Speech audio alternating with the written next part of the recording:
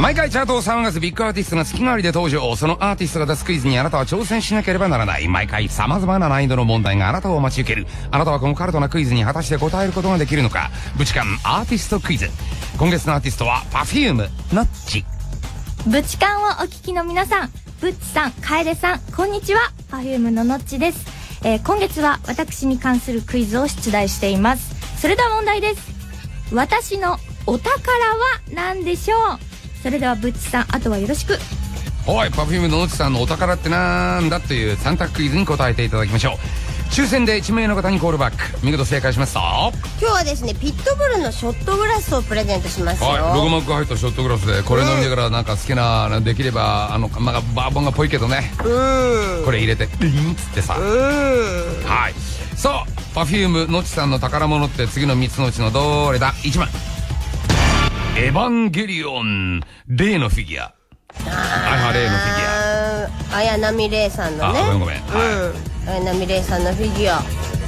ねフィギュア好きにはたまらない一品。なんかレアものとかあるんでしょ？みたいですね。なんかこれ全部取れると大変なことになるんでしょ？あそうなん。あと登場人物のキャラクターのね。はい、うん。エヴァンゲリオンな。最近調子よくないもんな。そっちじゃないか。ああるんですね。ありますあります。はい、えー例のフィギュアエヴァンゲリオン。2番。漫画「ちはやふる」に出てくる新たの絵。あー。これもキャラものですね。はちはやふる大人気でね、ございますけれども、い、はい絵でございます。うん、うん、ね。フィギュアときて絵ときました、3番。なんと陶器でできた尿瓶これは宝ですよ。まずねあの雫かかった時の音が違うと思う。どういう用途なんでしょうか？用途？うん。ああの1個しかないしいやだから飾るんですかね。だからそういうことですよ。それ一個し飾るか使うかですか？これを見事に飾りったらすごいでしょうね。なんかあの間接照明かなんか当ててバックに。これでパーンと頭に上からサスライトがパーン当たってまあ。作家の名前が当たり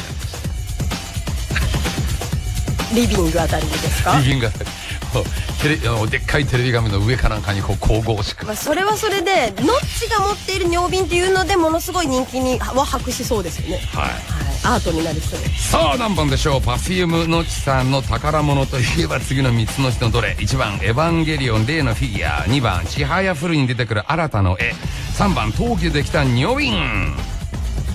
さあこれははいですからご応募こちらです。はいファックスの方は092-526-5300 092-526-5300 e メールの方はすべて小文字で BUTCH ブッチアットマーク FM 福岡 .jp ブッチアットマーク FM 福岡 .jp です。えー、では曲フラッシュを応援しますんでその間にご応募いただきましょう。はいヒントをください。ヒントいるの？俺驚いて思わず頭の中で口からこんな言葉が。本当いるの？いるよ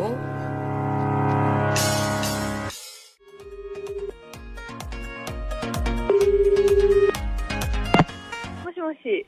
Perfume のちさんの宝物といえば次の3つのうちのどれ ?1 番エヴァンゲリオン例のフィギュア2番漫画ちはやふるに出てくる新たの絵3番陶器でできた紙瓶さあ何番？2番。2番正解か不正解かこちら正解は、漫画ちはやふるの先生に描いてもらった新たの絵でした。ちはやふるっていうのは、えっ、と、カルタ百人一首の漫画なんですけど、そのちはやふるの映画の主題歌をね、パフュームがやらせていただきまして、えーそのご縁で先生、末継先生と対談させてもらったんですけど、漫画の、えー中にですね、新たという、えーとてもイケメンな、えーカルタの天才児がいるんですけど、その新たが私大好きで、その絵を描いていただきました。それでは Perfume ののっちでした。はい見事に正解おめでとうございました。とうございます